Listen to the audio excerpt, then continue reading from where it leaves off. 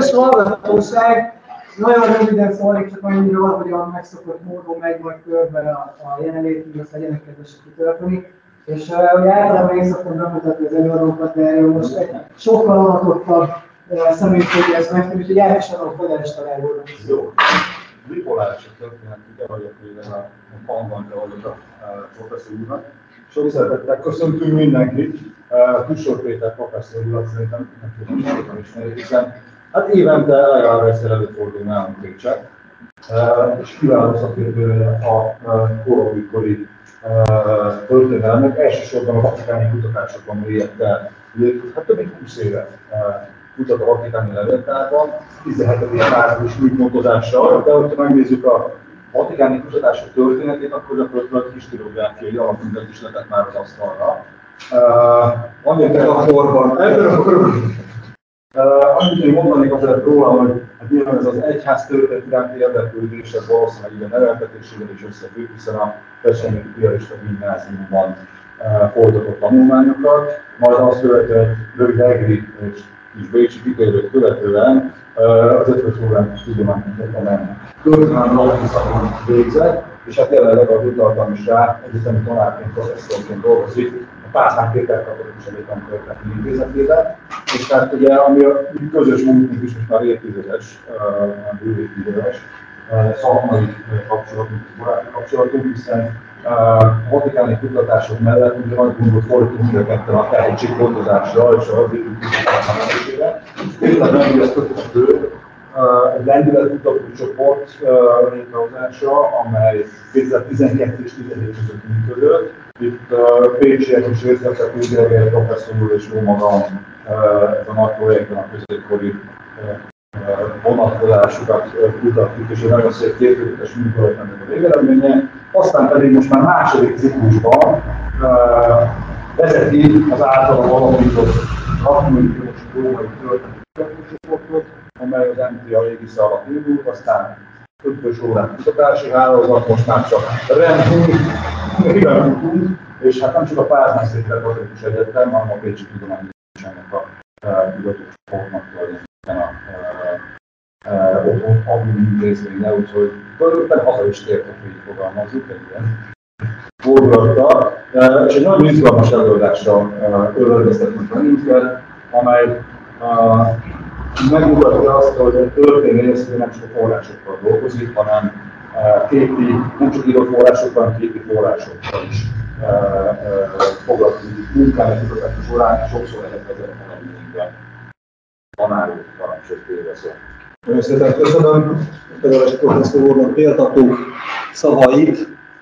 Igen, másfél évtizede dolgozunk operatívan együtt egész pontosan 2008-tól. Olyan mód ebben a ciklusban, Maderes professzor úr már társ kutatócsoport vezetője, tehát nem társ császár, ugye ez azért Maxencius a beszerelve, hanem társ kutatócsoportként igazgatja a fraknói kutatócsoportot, melynek keretében fogom ezt az előadást megtartani. Nagyon szépen köszönöm a meghívást örülök, hogy itt lehetek ismét Pécsen. Így van, 2005 óta szinte minden évben jöhetek ide, és ez mindig nagy öröm a számomra. Nagyon különleges téma foglalkoztat most már gyakorlatilag egy éve, ténylegesen. Ez egy kép, ami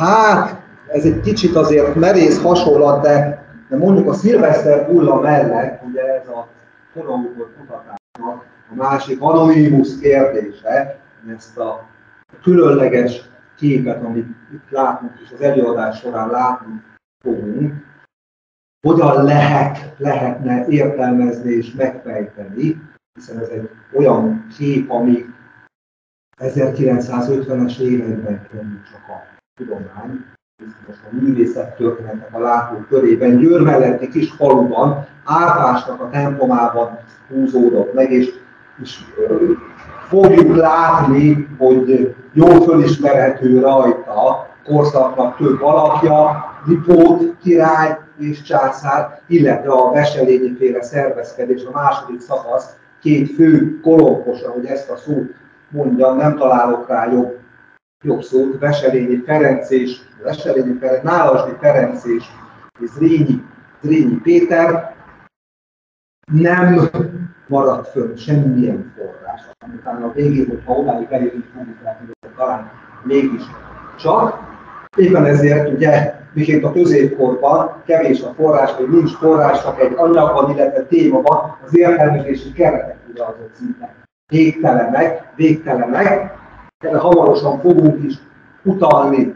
Miért keltette föl ténylegesen ugye személyes történelem a, a kurzusnak a címe az én érdeklődésemet, picit a személyes motivációkról. Valahogy úgy alakult, hogy sokat foglalkoztam Pázmány utódaival, Lósival, Lippaival és Szerencséjével. Ezek azért nem jelentős figurák a magyar történelemben, de nem annyira ismertek, mint a nagy nevű előtt, és sikerült ezt a kutatásomat 2022-ben lezárni és megszabadulni tőle. Ez egy örökbeli pillanat volt az életemben. El is hoztam ezt a kötetet, körbe adhatjuk és bele tekinthetünk. Aki nagyon érdeklődik iránta, az el is ide, hogy beszéljük meg. Jó, hát ezt a utánfutás, nevelés, tehetséggondozás jelégére, mint motivációt is hoztam és, és hagyom. Mit illetve foglalkoztam 17. századi episzkopátussal, úgy, mondjuk egy egyházi elit társadalmi réteggel, amelynek több tagja ugye szerepel ezen a festményen, és kutatás során Lippai és Szelepcsényi több esetben ugye nevesítésbe is került, hogy esetleg ők lehetnek baloldalt ezen a, ezen a festményen. Árpási oltárkép, hallottunk már talán, talán, talán róla, amit én itt mondani fogok, az nagyon sok szempontból épít a, a nagy nevű elődöknek a, a munkásságára. Galavics Géza művészettörténészként, Ervárkonyi Ágnes, ismerős név történészként, ez a buzás említő, szintén művészettörténészként foglalkozott a, a témával, igyekezett megfejteni a titokzatos képnek a, a rejtéjét, én nagyon sok mindenben az ő munkájukat viszem tovább, nagyon sok mindenben értelemszerűen gondolkodni.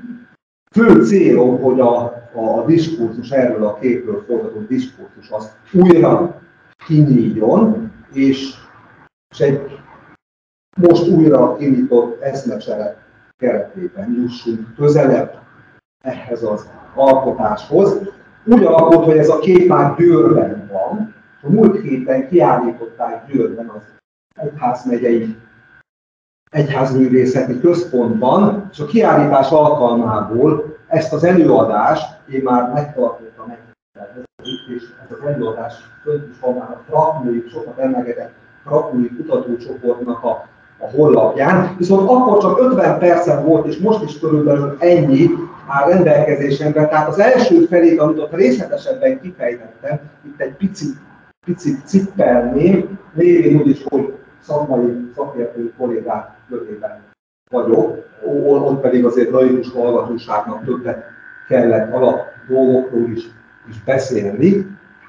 Majd az előadás közepetáján igyekszem kicsit lassítani a tempón és kifejteni olyan dolgokat, amelyeket egy héttel ezelőtt, pontosan egy héttel ezelőtt nem, nem tudta.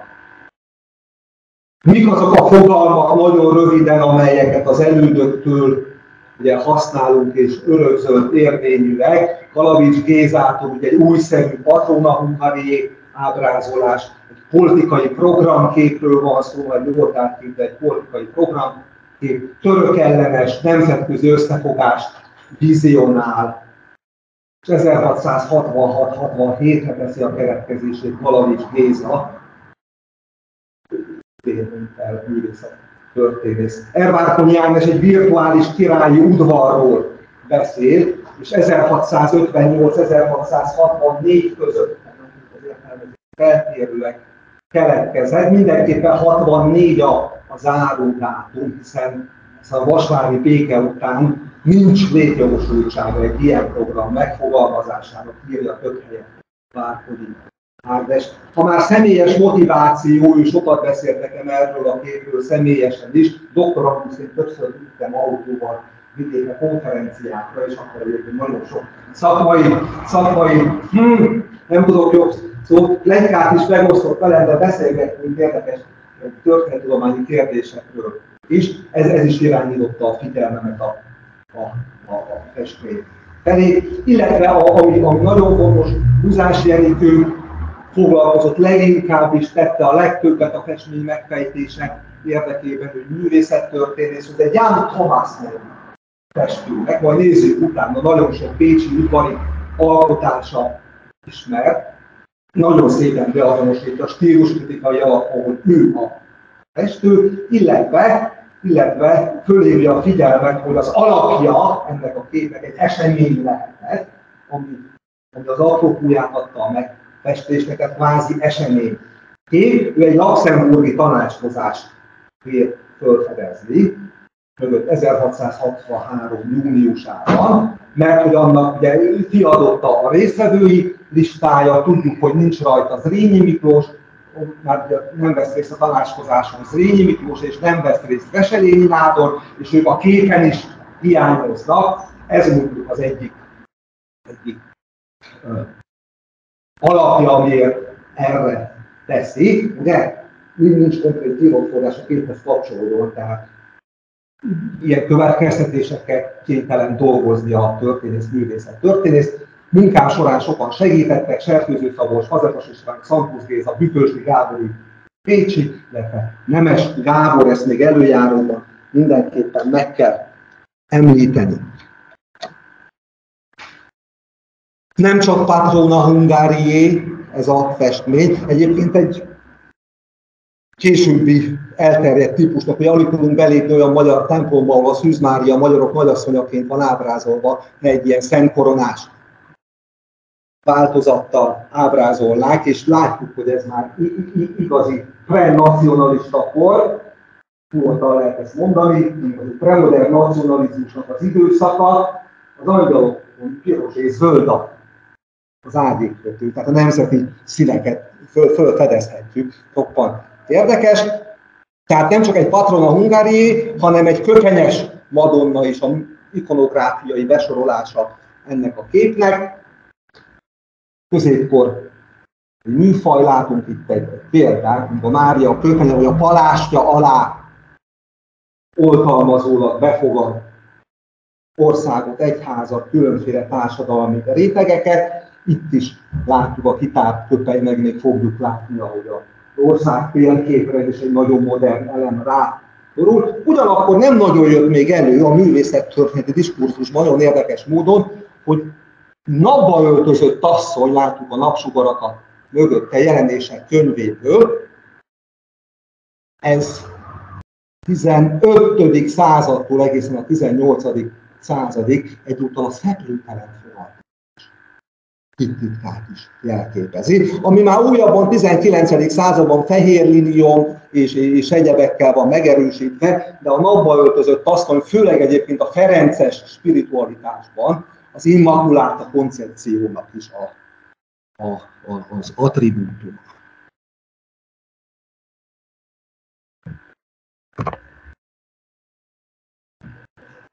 Erről nagyon szépen Bálint Sándor ír, Szegedi, előbb láttuk a Szegedi alsóvárosi kegyképet. Patrona Hungárié köpenyes Madonna, Schutzmantel Madonna németből jön. Kifejezés, illetve szeplőtelen fogantatás, ez, ez a hármas ikonográfiai attribuáltsága a képnek. Miért van az általunk kihangsúlyozott szeplőtelen fogantatás pirossal aláhúzva, az majd még ki fog derülni, lesz némi jelentősége. Korábbi kutatásnak ugye a módszere főbb állításai, mivel itt nem a bárányok, hanem a források hallgatnak, utaltunk rá, ami még inkább izgalmas, mert Veselényi féle összeesküvés időszakában vagyunk, nagyon sok forrás utólag megsemmisítenek, akkor már jön a vésztörvényszék, stb. nehogy alapot szolgálhasson bármilyen vádra és vád emelésre. Tehát, hogy az alapmódszer, hogy a festmény kell szóra bírni, a festmény kell szóra bírni, és kompozíciós elrendezésekből próbálnak következtetni. Például Galavics Géza arra, hogy a jó fölismerhető Széchenyi György mellett áll kifelé néző alak, egy ismeretlen magyarországi festő lehet gondolja Galavics, és így a donátor és az alkotó együtt elhelyezve, ezért gondolja, hogy Széchenyi Györgynek a megrendelésére készülhetett, vagy, vagy Budás Enikő mondja, hogy Nádasdi Ferenc és a központi figura, a szemmel a központi figura. Ferenc a szerzetes alkot egy olyan párt, ami inkább arra utal, hogy Nádasdi lehetne a megrendelő. Én meg azt teszem hozzá, hogy nézzük meg, milyen szép aranyparácsa van az uralkodónak, mi mindenki fölismeri a Habsburg ajakról, de ugyanilyen aranyparácsa van az Esztergom vérseknek, aki a szélen áll. Ugye, ha már magyar egyházja evidens, hogy a legszélen, élen, ugye csak is az Esztergom érsek áll, hogy, hogy elvileg esetleg ő is lehetne, ha már képet elemzünk a, a Na, hogy még a képüzen nagyon fontos, Ervárton Jágnes hangsúlyozza, háborús jelleg. Az uralkodó páncélban van, Zrínyi Péter kardját markolásza, nem keletkezhet, mondja Várton Jágnes a vasárdi béke után előtte kellett, hiszen 1683-ig nagyon jól tudjuk, hogy Bécs kudarcos törő ostromáig mi uralkodik a Kárpát-medencében. De, hát ugye háborús programképnek nincs létjogosultsága. Szereplőknek az azonosítását kizárólag a kép alapján és kizárólag portás festmények, metszetek alapján, tehát fiziognómiai alapon próbálták meghatározni, nem véletlen, hogy csak első Lipót, Nádasdi Ferenc, Zrínyi Péter és Széchenyi Györgyben van egyetértés a korábbi kutatók szerint. Mindenki más az, hm, hogy mondjam, tehát többes azonosítás áldozata szereplők közül. Nehéz ügy a, a csak fiziognómiai azonosítás. Hoztam pár példát, hogy hogy miért? Nézzük meg a mindenki által elfogadott Széchenyi György az oltárképen, és mellette a, a, a kortás ábrázolás.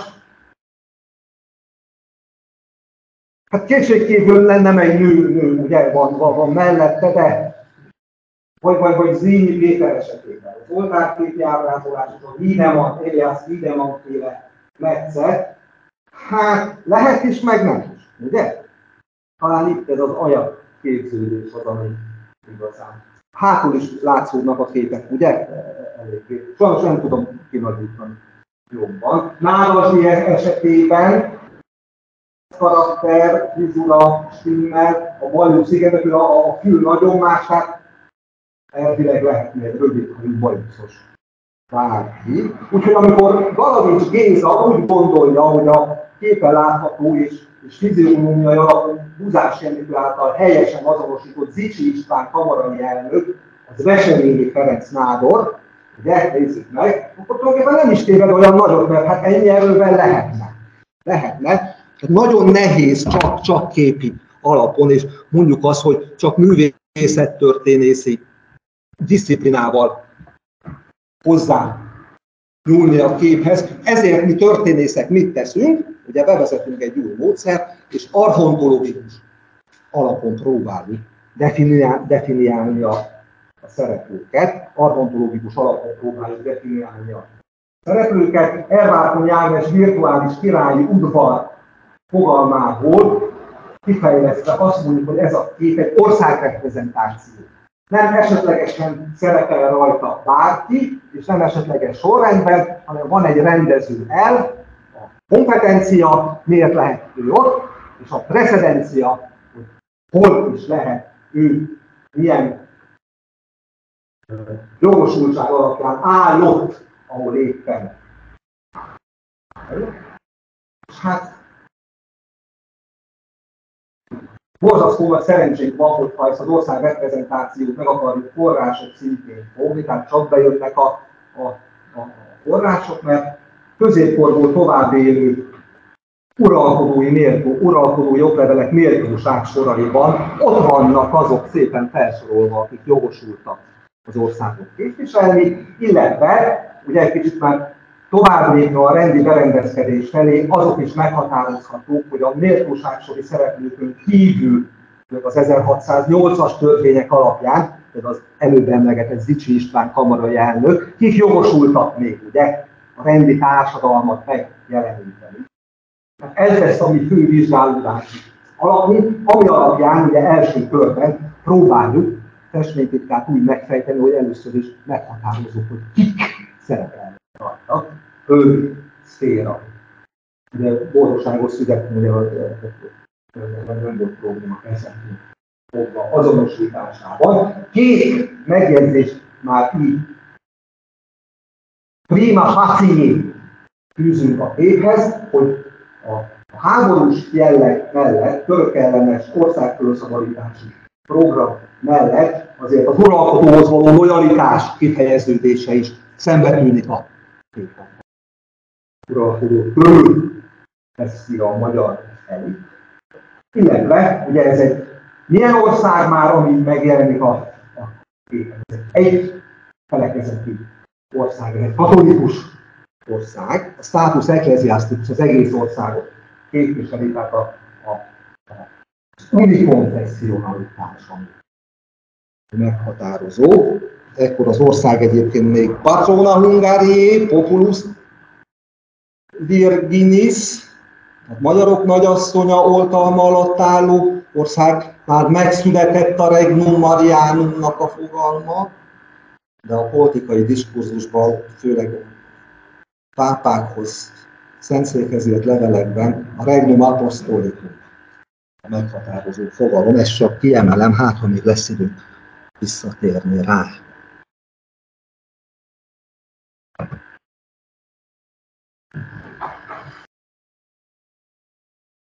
Méltóságsori tagok, föl se soroljuk őket, Nádor, országbíró, tárnokmester, kisebb méltóságok jönnek sorba, ide van írva, vizsgáztál is belőle, ugye, tehát nyilván ők lesznek a képen is, kijön a, rendiség egyéb reprezentánsai közül, a Magyar Kamara elnöke, a két koronaőr, a diékai képviselettel rendelkező szerzetes rendeknek a vezetői, bentéseknek, párosoknak, illetve a jezsuiták itt is besúsznak, ugye, ki vannak tiltva a, a közjogi rendszerből, nem lehet birtokuk, de mégis, ugye, egyházi javadalmaknak hívva kezelni, ennek jogán meg megjelennek már az országgyűléseken később egyre nagyobb számban, tehát nem én vagyok az avatott szakértője. Hát itt a tézisünk, amit kulcsul szolgálhat, hogy gondoltuk, és fogjuk látni, hogy fog is szolgálni a festmény megfejtéséhez. Festmény országreprezentáció, a közjogi struktúrát jeleníti meg a képzőművészet eszközeivel, kompetencia és precedencia jelszavai, két megjegyzést fűzünk hozzá, és akkor már is jönnek megfejtések. Első, a méltóságsorok elemzése kapcsán, hogyha a nádori szék üres, akkor a méltóságsorok élén középkorban is, koronikorban is kiáll az élet. A második méltóság is az. Ott föltüntetik, hogy officio palatinaliva, nem általában. Igen. A másik, ami nagyon fontos, hogy a ferencesek nem részei a közjogi szisztémának. Ugye ennek sok előnye is volt, hiszen így működhettek a, a hódoltságban. Nagyon fontos a szerepük, tehát gyakran az országgyűléseket a Pozsonyi Ferences rendház ebédlőjében tartják, mert szállásolják az országgyűlés részvevőit, de nem részei a, a rendiségnek.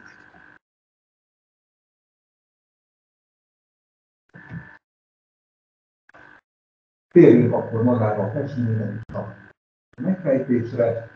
Hát nagyon egyszerű egyébként a terminus postrem nomi, miután nem keletkezhetett már ez a festmény, látjuk ott van rajta az Rényi Péter, megnézzük az okleveleket, február 8-án még ott van, 1670. március 29-én már nincs a méltóság sorban az Rémi Péter, ugye március 20-án volt egy kis csáktornyai zendülés, ugye, mint azt nagyon jó tudjuk, hát az ő sorsát már, mint Horváth Pán, ekkor eldöntötték, azt, hogy ki fogják végezni talán még de hogy a történetnek vége. A másik, hogy látjuk a képen, kiáll az uralkodó jobbján, Tesedényi Nádasdi Ferenc országíró, vagyis mi következik, hogy amikor ezt a képet megfestették, a nádor szép az üresedésre volt. Tehát már is van egy új, stabil terminus ante cremum, ami előtt nem keletkezett, ez pedig Veselényi Ferenc nádor halálának dátuma 1667. március 27-e. Ebből már is következik, hogy az esztergomiesek a képnek a szélén kicsoda nem Lippai György, ahogy azt, azt gondolták, hanem Telepsényi György, Esztergomi érsek. És az is egészen biztos, hogy Széchenyi György mellette már emlegettük, ő nem győri püspökként van a képen, hiszen méltóság sorban kikövetkezik mindig középkorban is.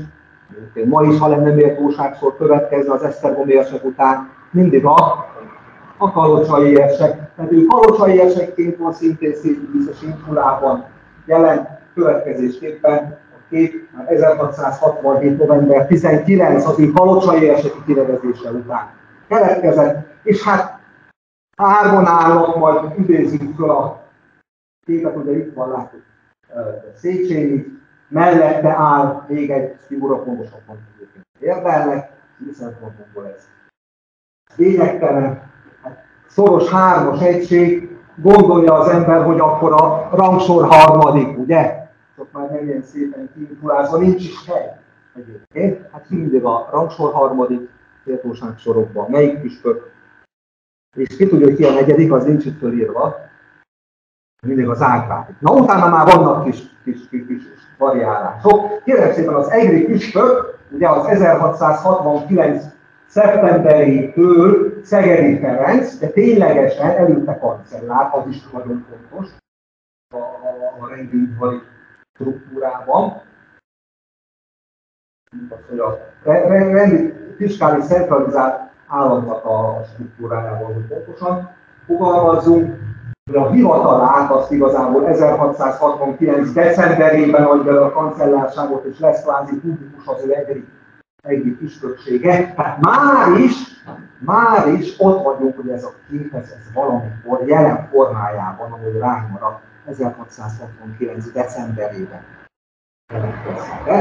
Van még egy kancellár egri püspök ebben a korszakban, aki szóba jöhetne Pálfi Tamás. Na, itt jön be a fiziognómia, ahogy mi csak használjuk, hogy argontórius azonosításunkat megengedi, támogatja, vagy nagy Isten teljesen kizárja a jobbomra. Pálfi Tamás látjuk, nem lehet a harmadik. Ugye azért, egy, egy, egy nagyon más bácsi. Ezzel szemben nem túl hiteles az ábrázolás, de az egész arc karaktert megnézzük. Szegedi Ferenc az, az megfeleltethető, tehát ez az egyik, egyik közellépésünk a a festmény szereplőinek az azonosítása, az amelyek nagyon fontos, ugye mozzanata, hogy ez alapján a datálást is pontosítani tudtuk. Tehát nem 63, nem 66-67, hanem 1669 decemberre felé mutat, módszerünk.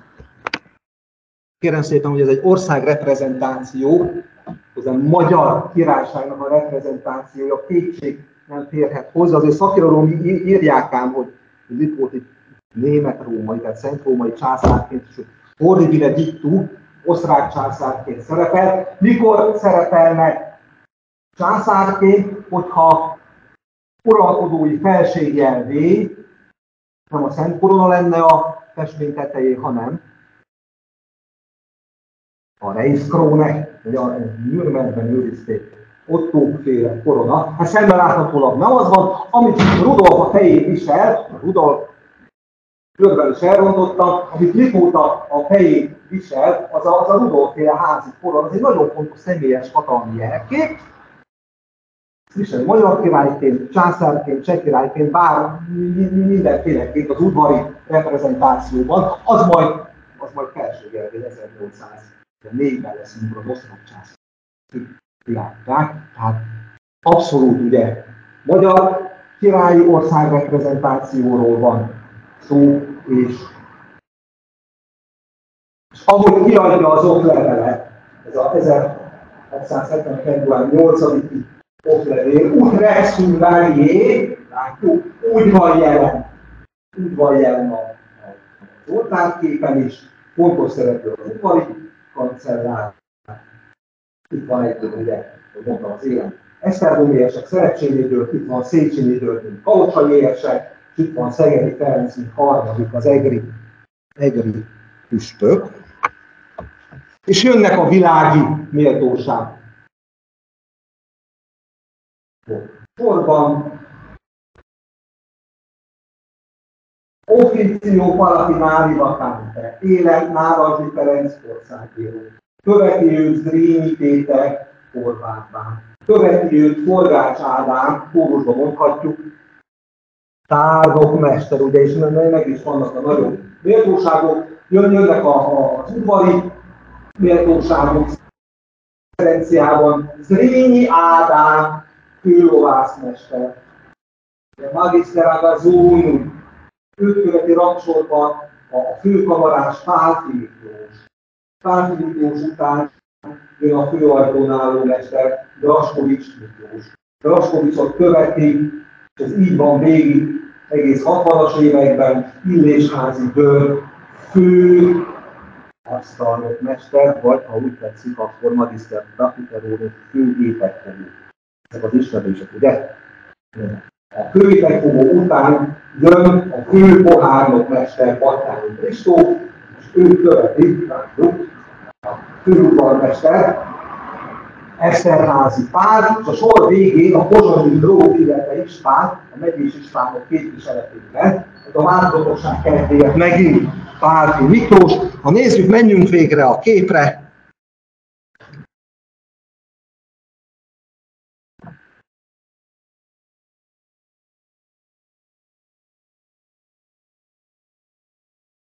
Egyházi már.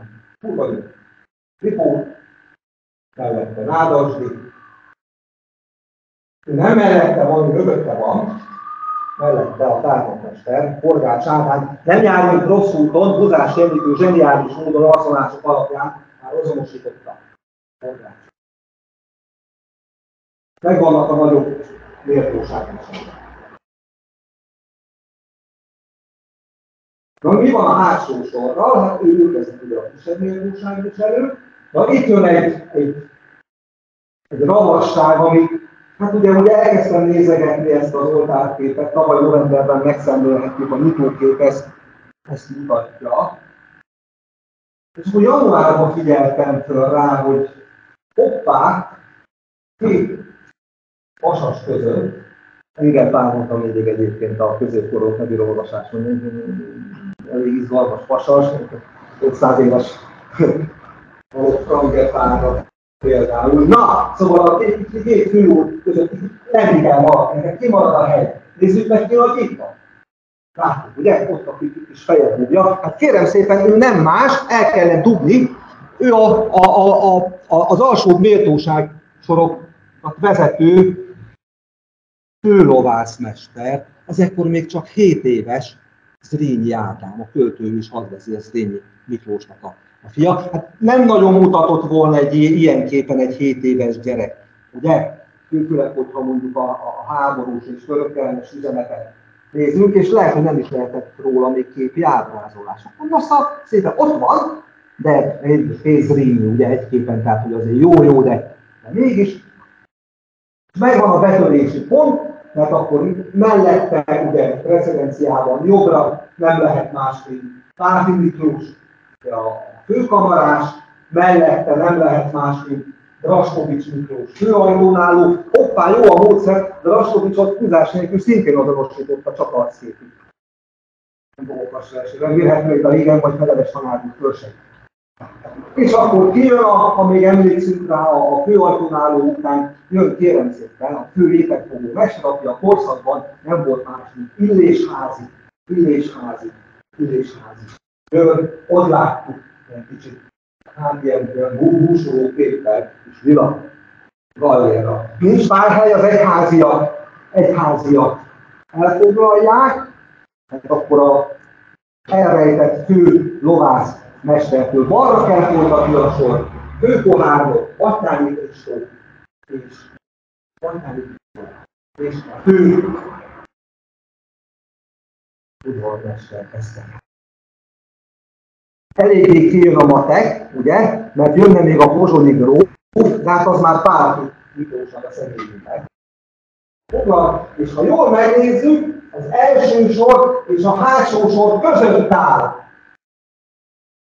Sas, találkoztunk, akit Veselényinek gondolt korábban a kutatás, és akiről szintén zseniálisan fiziognómiai alapon nagy nagy anyagismerettel és festményismerettel múzeumsinek kiderítette, hogy Zicsi István, a Magyar Kamara elnöke, a Zicsi grófoknak itt Pécsen nem kell bemutatni, de az alapító tulajdonképpen a főnemesség soraiba emelő Tibora, Magyar Kamarai elnök, se nem hátsó nem első sor, majd csak 1680-as évekbe kerül be a főrendet közé, köztük van, összesen, de nagyon fontos pozícióban, és nagyon jól láthatóak van megjelenítve, nincs takarás, végül csak ül a kasszán, ugye? És abban a korban is ez azért nem kicsit, nem kicsit számított, és kérem szépen kijött a matek. Ugye, tehát ahány szereplő, annyi főméltóság viselő, tehát úgy néz ki, hogy, hogy megvan, megvan az árpási oltárkép szereplőinek a, megfejtése. Még az egyházi oldalon, ugye, a Pálos és a Bencés képviselő, ugye Ivanovics Pál, Pálos generális, ezt már Fudás Nőtük szintén azonosította helyesen, mögötte meg vélhetően az a szerzetes, az, az, az, az Gencsi egyet Pannonhalmi főapát, 67-től 83-ig ő a Pannonhalmi főapát. Egy kis aggályunk támad, hogy arra gondoltuk, hogy 1669 december, akkor már nem Ivanovics Pál a pálos generális, hanem Kér János, aki 30 éves. Jól nincs képi ábrázolás, de ezt szemmel látható, ez a, ez a fehér barát, ez nem egy pálos. Nem egy 30 éves pálos. Pasas. Hát itt van egy, van, van egy kicsi probléma. Jó, volt generálisként, hogy nem prodékánként, hanem progenerálisként, ez farmai püspökként, most úgy képviselni a, de egy picit ez a közjogi kompetencia és precedencia, mint hogyha botlana, ennek azért majd még lesz jelentősége. Na nézzük azért csak két példán bemutatva, hogy mit mond komplemente jellegű a fiziológia. Ő asztalnokként azonosítottuk ülésházi Györgyöt, nézzük meg a videómetszet alapján, tehát tulajdonképpen fényképi azonossággal, ezek a kis, kis bűzű szemek, ugye, meg, meg ez a, a varkacsos, üstökös vizura. Még izgalmasabb Eszterházi pár, Eszterházi pár. Udvarmester, éppen nézzük meg a híres Benjamin blokkféle festményen,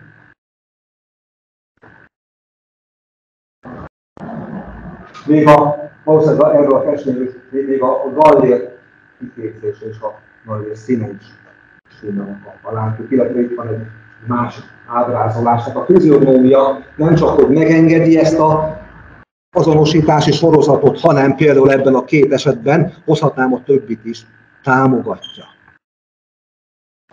Ez az, e, e, ugye, tehát azért ez izgalmas, ez nem, nem úgy jött, hogy akkor novemberben láttuk a festést, akkor decemberben. Na, tehát azért voltak zsákutcák, meg meg, meg minden, de ezt azért úgy izgalmas volt összerakni, és ha a történeti kutatás, akkor ez a forrásvadászás, ugye, meg, meg utána ez az agyalás, ez, ez, ez izgalmas tud, lenni. E, ez az első nagy egység, ami a kutatásnál egy, egy, egy, egy fontos, fontos egység. Lépjünk tovább, és térjünk vissza Ervárkonyi Jánosnek ama gondolatára, hogy, hogy 64 után nem keletkezhetnek béke. Van itt csak egy mondat erejéig. Nem, mi már tudjuk, hogy nem lett háború. Országban nem tudták, ugye? 68-ban zárul le, 45-től húzódik, 69-ben zárul le a trójai háború után az emberiség történetének második leghosszabb háborúskodása, a kandiai háború. Törökök elfoglalják Krétikát 69-ben, általános a félelem Bécsben, hogy támadni fognak, és ez a támadás, ez, ez Bécs ellen, vagy elsődlegesen Győr ellen fog irányulni. Beszélhetnék erről igen, igen, sokat. Fogadjuk el a tézist, nunciusi jelentések alapján gyakorlatilag rekonstruálni lehet, hogy pánik, háborús pánik van már 1669. szeptemberétől a Bécsi udvarban, és nem csak a törököktől félnek, hanem hogy ezt kihasználva, hogy a magyarok is föl fognak kelni, föl is kelnek, ugye, 1670 tavaszán, mert a magyarok se tudják elképzelni, hogy a törökök nem fognak Hát ez, ez, ez, ez nagyon fontos. Mi már tudjuk, hogy majd 1672-ben Lengyelország ellen, ellen fognak törni. Tehát igenis 69 őszén olyan politikai helyzet van, hogy van létjogosultsága egy, egy török ellenes programkép meg fogad. És ugye, magyar figurokat már szervezkedéssel vádolják, már a pápai nuncius jelenti 69. augusztusában, Bécsi udvar napirendjén van, főleg Gágasdi Ferencnek a, a, a szervezkedése. Arra is van éppen motiváció, hogy de bűnbánó jelleggel az uralkodó felé lojalitásunkat kifejezzük. Hát ez a 69 ősze decemberre, amit hierarchikus, meg archontológus alapon vélelmeztünk festmény keletkezésének, bizony a belpolitikai, illetve török fenyegetés nyomán igencsak aktualitást nyer, mint egy olyan apropó, ami, ami arra ösztönözhette a donátort, hogy ilyen képet meg festes.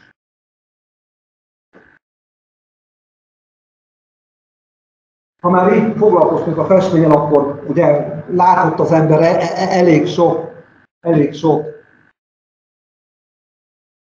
kalandfilmet, meg, meg hagyd nem mondjak most konkrét rendezőket, meg, meg, meg regényeket, meg, meg megfilmesített regényeket, akkor át is kell világítani röntgennel, nem? Tehát, hogy azért nézzük már meg, hogy mi van, mi van a, a, a felület, felület mögött, ez, száz év is van, meg, megtettük, mert, mert ugye következő gondolat, ami a kép kapcsán eszünkbe jut, hogy annyira furcsa a pápának az ábrázolás.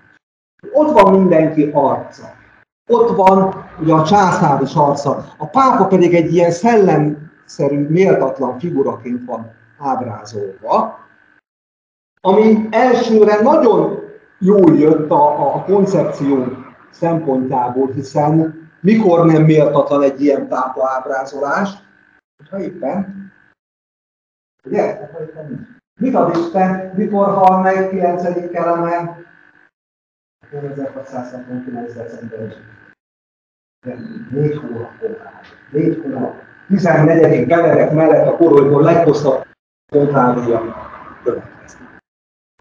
Jó, igen ám, de az meg olyan éles, hogy na, meghalt a pápa, most fessük meg ezt az ország reprezentációt, mert milyen jó, hogy majd az eljövendő pápát tudjuk így bemutatni, ki majd felszabadít bennünket a török alól. Ez nem elég életszerű, és többek között emiatt is gondoltam, hogy érdemes lenne meg, meg, megröngenezni, hogy tulajdonképpen már augusztus-szeptembertől, 1669. augusztus-szeptemberétől minden körülmény fönnáll, hogy kép ez, ez, ez, ez megszülessen.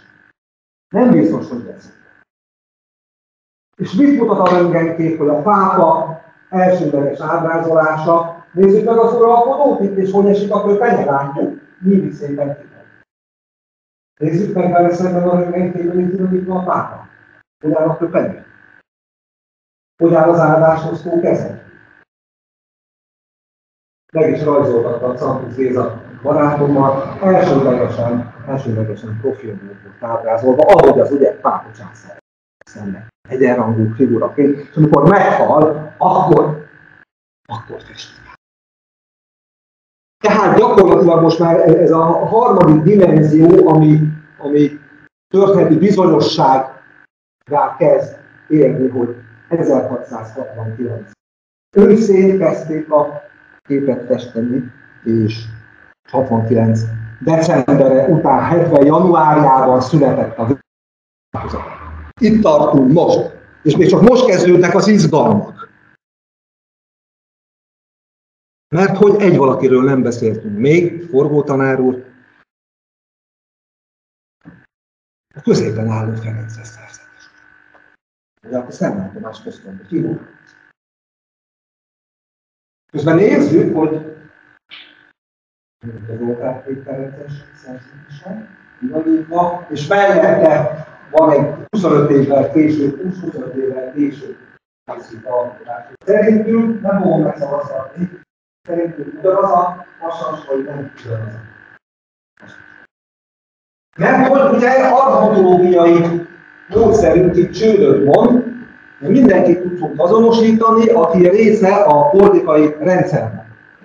Nem esetleges, hogy így ülnek, itt kerülnek, így újjának meg, és abban hogy kik kerülnek fel nagyon szoros, precedenciális rendben lát.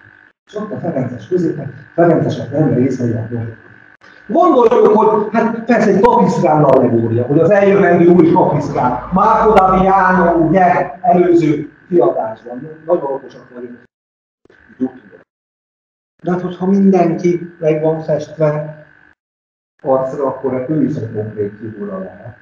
Akkor innen jött az ötlet, hogy oké, ez egy Ferences szerzetes, de ha aki nem jogosult a képen lenni, egy háziként, hát kik állnak tőle, tőle bal? Egy csomó Esztergomi esett, Kalocsai esett, Egri püspök, itt Szkardónai püspök, aki püspök is, meg szerzetes is. Hát akkor elképzelhető, hogy püspök itt van jelen. Van, aki egyébként Ferences szerzetes, ugye? És mit ad Isten? Megnézzük az arhontológiát, a készülő arhontológiát. Egy Cristóbal Rojas Spinola, spanyol Ferences 1666-tól Tinini püspöki kinevezést kap az uralkodótól. Kérem szépen, ő híresebb a nemzetközi szakirodalomban, mint házán. Hoztam pár, pár példát. Egy dologja, hogy ő még úgy gondolta, hogy a felekezeteket ki lehet végkéteni. 100-120 éves a, a Trienti zsinat, ugye 1552-től már elváltozik nem úgy, mint Konstanzban, itt nem marad együtt a nyugati latin egyház. De hát ő még ezt, hát mi most már egy 500 év után tudjuk, hogy ez tényleg ugye ökumenné szép állam. Konkrét lépéseket tesz, erre főleg a, a, a, a 70-es, 80-as években, de vannak utalások amerikai kutatók élet írásában, 1962-ben, ugye az amerikai filozófiai társaság évkönyvében publikáltak róla, hogy már a 60-as években foglalkozik ezekkel a kérdésekkel, csak még nem igazán lép a tettek mezeire. És ők mutatják ki szintén, hogy 63-ban nagyon jelentős szerepe van abban, hogy a rajnai szövetes csapatai idején Magyarországról és. Ugye már Zvényivel együtt égeti föl az eszéki igaz. Mainci érsek János Fülöpnek a, a megdolgozásában, mint titkos diplomata vesz részt, egyaránt bírja spanyol Habsburgoknak, osztrák Habsburgoknak a bizalmát, tehát keresvesen lehet ideális a figurát föltenni a képre, de új kapisztrán, mint azt a Ferencest, aki idehozta a Rajnai Szövetség csapat.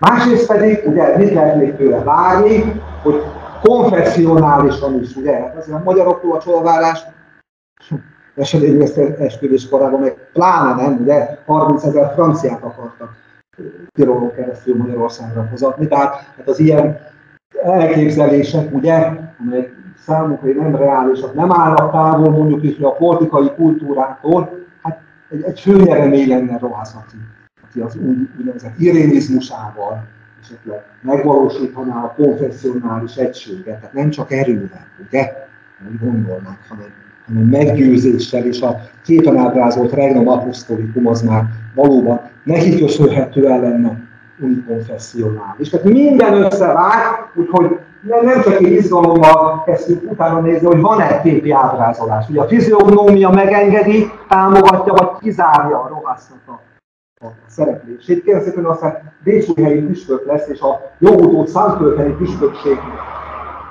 Dóm Múzeumában őriznek róla egy festményt a püspök portrét sorozatában. 18. századi másolat a sorozat, ugye a Bécsóhelyi püspökünkben 20-25 évvel később ábrázolja, mint amikor a 60-as években történik az oltárképre. Nyilván az összes fiziognomiai ellenzést két festőművészen is megcsináltattam, mert hát, hogy én történész vagyok, ezekhez nem értek. Mind a két szakvélemény pozitív, én csak ugye egy, egy valamire, azért ne fényképe gondolkozunk, nézzük meg a ügyes nem Ez ugyanaz a Tehát az Árpás Olgár két Ferencese forgó tanár úrnak a doktori főhőse, ugye, Krisztován Rohaszi, Spinola, Tinini püspök. Még egy öt perc figyelmet kérnék szépen. Hagyjuk most egy kicsit Spinolát, tegyük fel a kérdést, hogy na, ki akkor a donátor? Széchenyi, ahogy Balavics Léza gondolta? Nádasdi, ahogy Buzás Jenitő gondolta? A Szelecsényi, György, ahogy egyébként sokáig én gondoltam, de nem írtam le sehol. Megfontolt voltam. Kérem szépen, nagyon könnyen a megoldást a, a, a kompozíciós elrendezésen kívül is meg lehet, meg lehet eh, találni. Tudni illik, előadásunk elején megállapítottuk a képről, nem csak egy patrona Hungárié, nem csak egy köpenyes Madonna, hanem egy őtelen fogantatás attribúciója is van a. Hol van olyan jelentőségű helyen, ahova egy ilyen kvalitású és programú kép tényleg való és, és illendő, ilyen patrocínium, ilyen templom, illetve főoltár, szóba jöhető szereplők közül kérem szépen Loretton. Loretton pedig kinek a birtoka? Várasdi Ferencnek a birtoka. Tehát már is így el lehet jutni egy ilyen shortcut módon, ahhoz, hogy nem Széchenyi, nem Szelepcsényi, ahogy én gondoltam, közben pont 68-69-ben Rómában egy nemzeti templomot akar. Mondtam, hát ha oda. Nem. Lorettonban, és kérem szépen, épülően köszönhetően tudjuk, hogy épp mikor építették a Lorettoni szeplőtelen fogantatás főoltát Nádas, de mit gondolunk, melyik évben? 1660. Azt lehet mondani, hogy egy olyan rendszer, nincs direkt történeti forrásunk, egy, egy olyan, olyan többdimenziós dimenziós koordinátorrendszer áll össze, ami és hát hallgatótál, hogy a, a Buzás által definiált Jan Thomas pedig nádasdi bizonyíthatóan más festmények alapján megint mikor foglalkoztattak? 1669-1670-ben. Én azt hiszem, hogy nyilván jó lesz majd a, a tudományos recepció során diskurzust folytatni erről a festménynek, azért nagyon sok hangzik el, de hogy, hogy talán na, nagyon érdekes módon, de nem egy konkrét forrás elemzéséből, a történeti bizonyosságnak a talaján állunk. Na, hogy jön mindenhez? Rohász. Hogy kerül nem a csizma az asztalra, hanem a Ferences az oltár képre. Mi a közös nevező Nádasdi, Rohász és Loretto között? Tehát ugye, tisztelt hallgatóság, azért nem úgy fest az ember ország reprezentáció, hogy nosza, jön a török beszél akkor. Fessük meg, hogy milyen jó lett, ha térképen ábrázolt országok, a pápa, császár összefogása megsegíteni. Bajban vagyunk, de nálasban megint célba került 1669 őszére a szervezkedésben. Bajban vagyunk a hűségünk kétséges. Nos, akkor ezt is fessük fel a pont most készülő oltánképre közel is. Ez Loretton 30 km. Pécső hely, Sopron, ahol van egy országgyűlés is majd igen, és 81-ben ezt akkor még nem tudták. Nálasdi uradalom, egy központi szakrális helye, tehát van hová és van, van miért, de azért kell egy apropó, nem?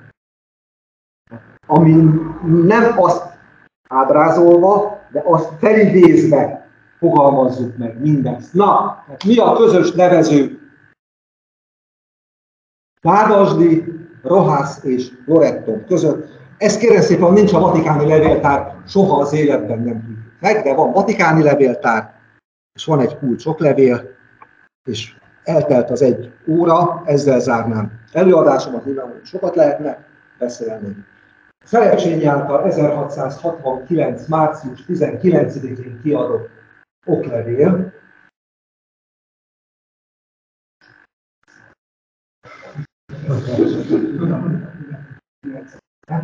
Ebből az egy passzikusból ez az egy fogás 12 euró Jó?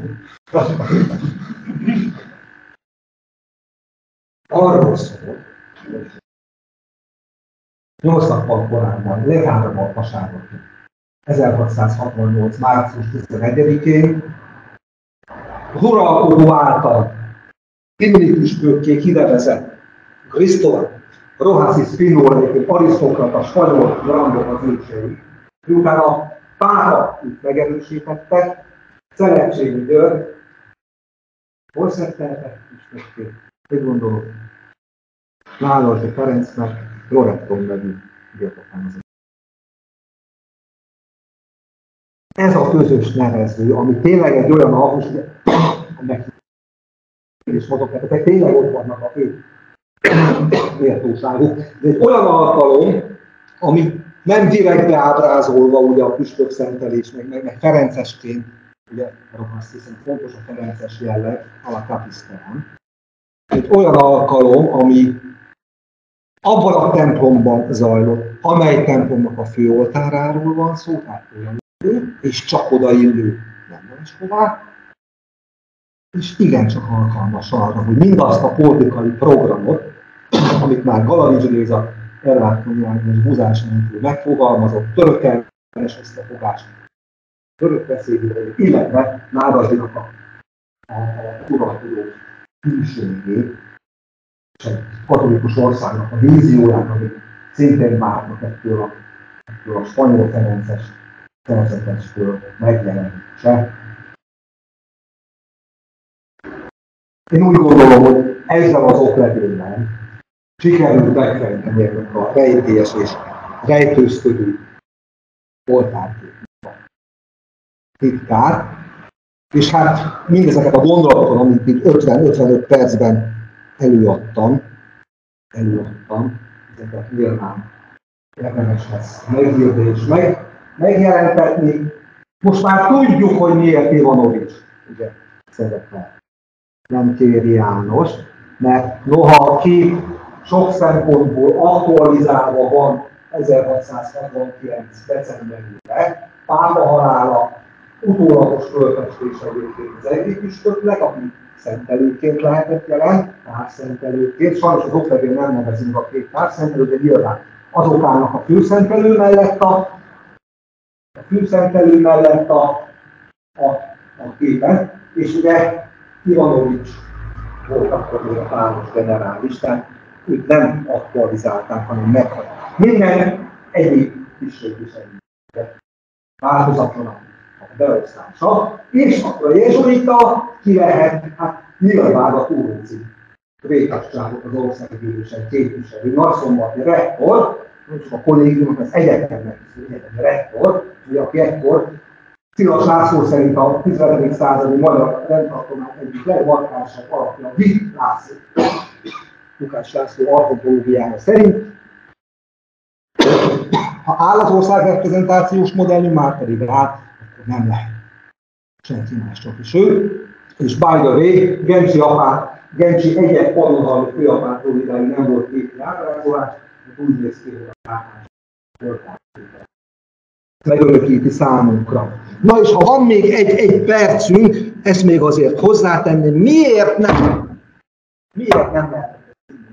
Miért nem tudták Miért nem gondoltak? Olyan egyszerű, nem?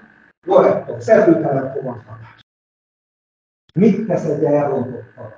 Mit tesz egy elrontott adat? Mól Adolf, Győri Egyházmegyés pap, jelentős történész egyébként, ő foglalkozott korábban ezzel a kérdéssel, Nádasdival, Nádasdi végrendeleteivel, magával, Lorettommal is, és ő publikálta először csak magyar nyelven Nádasdinak már a Síralomházban írt végrendelet kiegészítését, április elején 1670-ben, ahol annyira fontosnak tartja a Lorettomi főoltárt és képét, hogy rendelkezik róla.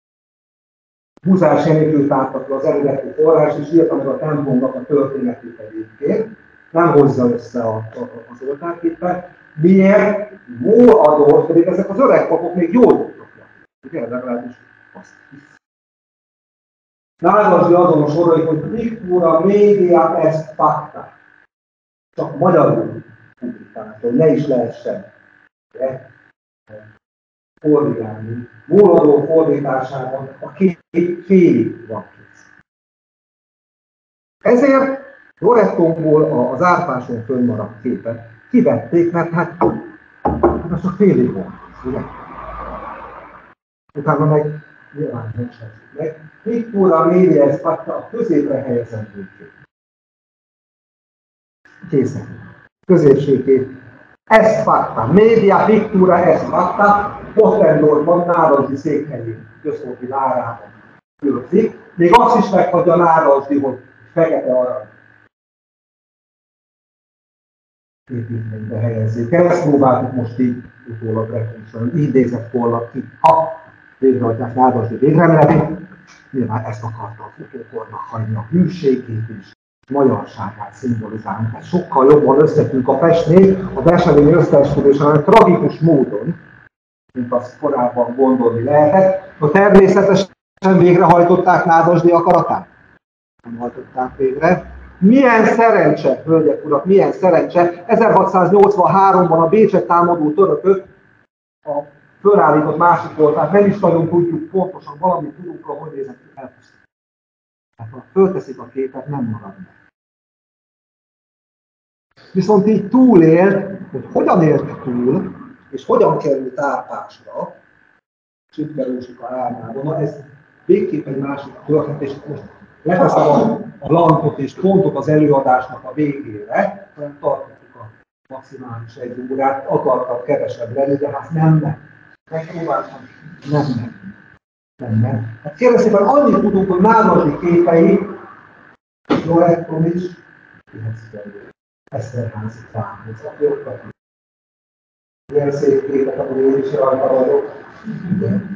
Árpás, ugye, hogy írtok a században néz. Eszterháziaknak. Nem tudom, kedvasággal összetett meg, vannak viták az apácákkal, nyilván érdemes lesz majd arra is rákutatni. Na, ezt majd tegyük meg.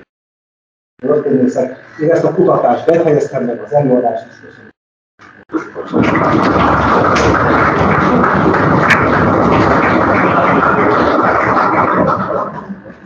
Nagyon szépen köszönjük a beszélőnek a rendkívül érdekes és szórakoztató volt. Magyar történelem érdekes és szórakoztató. Így van, de még inkább, hogyha tőled halljuk, úgyhogy nagyon szépen köszönjük. Ilyen közönséget. Nem, köszönjük. Lehetnek okozni, ezt tényleg nagyon szépen köszönjük, tanár úr. Most jött el az idő arra, hogy felkérdezéseket és a felmerülő kérdéseik.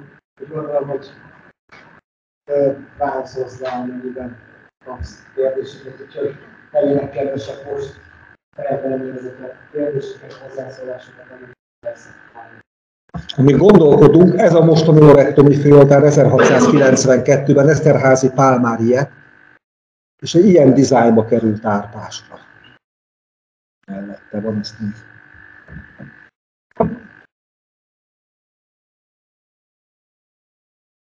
Ah, kolléga. Nem, nem csak a vacsorára gondol, mint egy helyes, jó. Nem teljesen tiszta, hogy a az korona? Igen, igen. Igen, igen. Nagyon jó a kérdés. A kötet már készen van egyébként, és vannak két mellékletei. A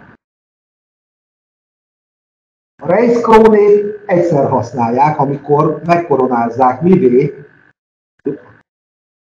római királyá, ugye, egy császár már választott, a császár koronával is ugye római királyá koronáznak, ez nagyon fontos, elektus. Tehát ki koronázhat császár, hogy tényleg császár ugye megkoronázva. Pápa. De, és mikor van az utolsó ilyen császár koronázás? Bologna? 1530.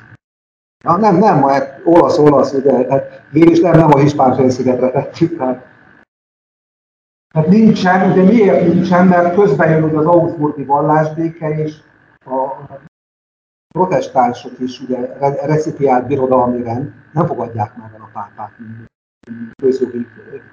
Mindegy, lényegre hát a, a, a Reichskron e, egyszer használják, az a, a, a császári szuverenitásnak a jelképe. Noha nem császárán, hanem római királyá koronázzák. Azért nem német király mondom, mert igény a császárságra, ugye? Imperátor Romanum, Rex Romanum. Ez, gondolom, hogy egyetemes középkori elgondolásokot. A magyar felségjelni, amit szintén csak egyszer használtam, amikor rendes magyar királyának Ugye? És látjuk, ott más metszeteket is hozok egyébként a kötetben, ahol Rudolf koronával ábrázolják Lipótot, de amikor császárként, akkor a, a Reichskrone van. Mert hogy mit hol? Udvari szertartásról. Nem hordhatja se a Reichskrone, se a, mondjuk akkor németesen a Stephanskrone. De szertartás. Mit hol? Egy nagyon szép házat. Ezt, amit Rudolf csináltatott ott magának.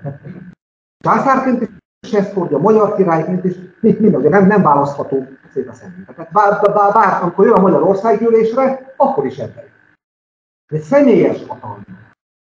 Tehát amikor az Árpás oltárképen ezzel ábrázolják, ez az ő személyes uralmi reprezentációja, az, az udvari országgyűlési bármilyen De a közjogi helyi értékét ennek, hogy itt most magyar királyként van, a temporalom mutatja.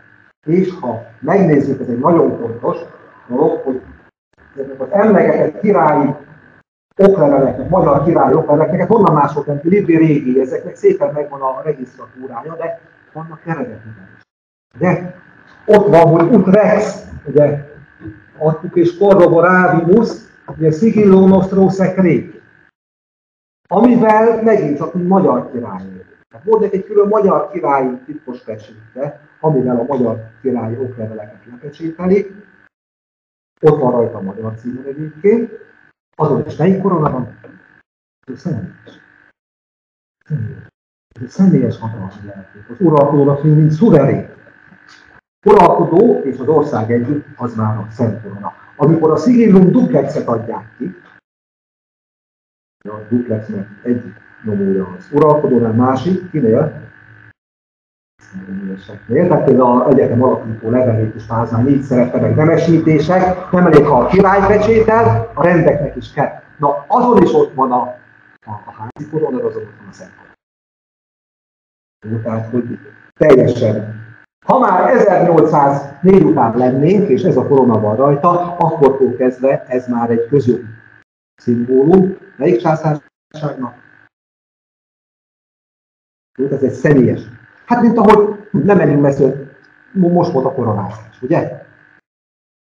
Megkoronázzák, gyönyörű szertartás volt, egy gyakorlatilag, ugye ószövetségi, levetkőztették, most nézzük, hogy ki a személy, vagy ne nézzük, ugye?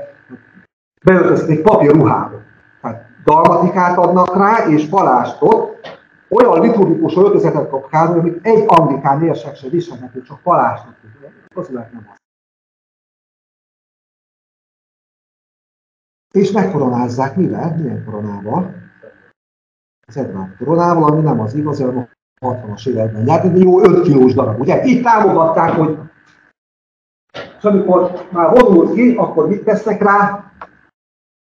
Az imperiál koronát. Aznak már nincs, az az ő szent, ugye, az a nagy gyémántos, nem tudom mit, az már egy könnyedebb, divatosabb változat, az már az ő személyes hatalma. Nem azzal koronázta, utána már csak azzal szaladjál, mert hogy hát az de ugyanerről van szó. Hálásak vagyunk az angol monarchiának, hogy ő ezzel történet vagyunk. Ugye, ilyen szempontból a pápaság és a római szentett ház, hát nem nagyon jó kérdés volt, köszönöm, hogy Na még egy. Még az lenne, hogy Győrben van egy színvállaló, Tornus állatot. Igen. És a Budapest és Ron Mária jutott partnerő munkerénykételen egy megzálló doktoron a helyén. De ez jelent a áthallást arra, hogy Épp, hogy mi, mi milyen koronával áll. Hát mondjuk, ugye, tehát, hogy nem, nem, nem, nem adták ki országgyűlésre, még azt sem lett volna semmi történni. Ezen túl a Szűz Mária patrona Hungári, akkor csak is Szent Korona. Ez. Egyébként leginkább majd a 19. századra fog, meg a, meg a, a millennium után elterjedni. Ez az egyik első. És különleges, de, de le,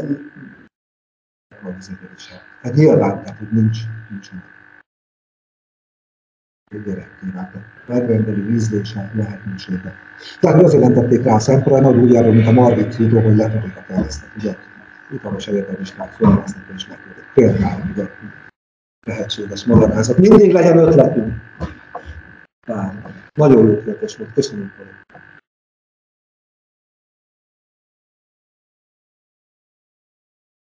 Hogy további kérdések esetleg. Mindenki más kozás sorozásra néz. Akkor az is lenne bevált mondattal zárnám, de először mindenképpen szeretném még egyszer megköszönni Tusor professzor úrnak, hogy eljött hozzánk és megtartott ezt az előadást és hát várjuk, hogy majd olvashassuk is, nagyon szépen köszönjük. Köszönöm szépen a hallgatóságot is, hogy jelen voltak. Szokás szerint mindenkit hívnánk, hiszen megyünk ma este és a Paulusba folytatni a beszélgetést. Én is felveszem majd azokat a kérdéseket, amit itt mennek, nem mondjuk biztos, hogy is vannak ilyenek. Professzor úrnak, ebből a például ezen keretek között két múlva fogunk találkozni, október 3-án fog Cékot Norbert nekünk előadást tartani. Picit visszatérünk a középkorból, hogy forrástól a feldolgozások címmel fog majd elhangozni ez az előadás, de előtte egyébként a jövő héten sem maradunk program nélkül, hiszen az új konferencia szervezésében is zajlik majd egy jövő héten kezdődő előadás sorozat, Kulcsák Krisztina fog érkezni intézetünkbe a Magyar Nemzeti Levéltár országos levéltárából, oda is szeretettel várnak Csiki tanárul mindenkit. Köszönjük szépen a figyelmet, jövő héten is két gyakorlás találkozunk viszontlátásra.